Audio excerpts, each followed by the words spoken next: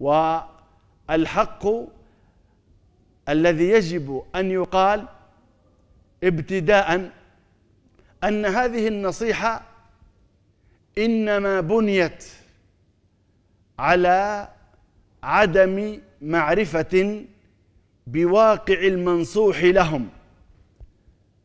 الشيخ مع إحسان الظن وأنا دائما أفرض هذا ولن أدخل في قلوب العباد ولم نؤمر أن نشق عن بطونهم وأن ننقب عن قلوبهم وأدع هذا لمن تكلم به ويتحمل مسؤوليته بين يدي الله. لكني أتكلم عن ظاهر الكلام. إن الشيخ ربيعا وفقه الله جعل الخلاف والاقتتال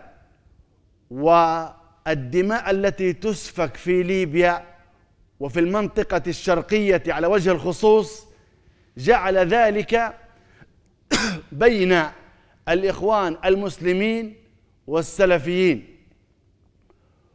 والله يعلم جل في علاه والذين يعيشون واقعهم يعلمون أن هذا الكلام غير صحيح فليست المعركة بين الإخوان المسلمين وبين السلفيين في المنطقة الشرقية. الأمر مختلف تماما. وهذا الكلام إنما بني على معلومات مغلوطة قيلت للشيخ وصدقها. وهذا غير صحيح أيها الأخيار. الواقع يشهد أن هذا غير صحيح